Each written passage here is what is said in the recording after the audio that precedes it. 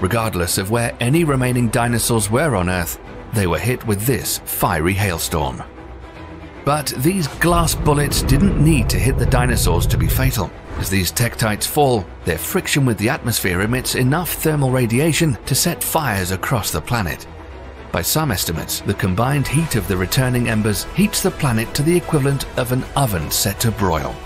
Most of the world's trees burn, which is perhaps why the only bird species that survive the impact are those that nest on the ground.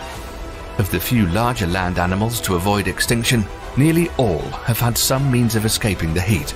They either could burrow like small mammals, snakes, and lizards, or escape into water like crocodiles or turtles. Even if the poor dinosaurs were on the other side of the world, they would have needed to find protection from the initial heat blast. In a final piece of terrible luck for the dinosaurs, Chicxulub happens to strike an area rich in oil and sulfur. The impact ejects 100 billion tons of vaporized sulfur and 30,000 quadrillion gallons of water into the atmosphere, which then condenses into massive storm clouds and falls back as torrents of acid rain.